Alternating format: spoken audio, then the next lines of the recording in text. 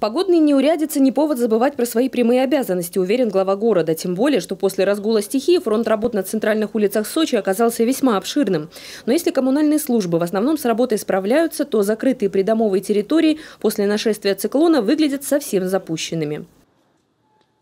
Жители, ну, вы же не можете, вы посмотрите, хороший дом даже. Вот дворы, как будто, как будто кто-то должен прийти за них почистить.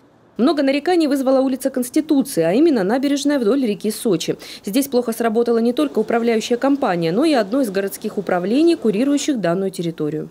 Те, кто не выполнил мое поручение из чиновников, они получат взыскание. Но чиновники, они как бы в виде факультатива это делают, то есть они контролировать должны. А беда как раз в том, что наши, те, кто должен это делать, кто за это зарплату получает, вот им кажется, что холодно, но мы не имеем возможности сегодня Э,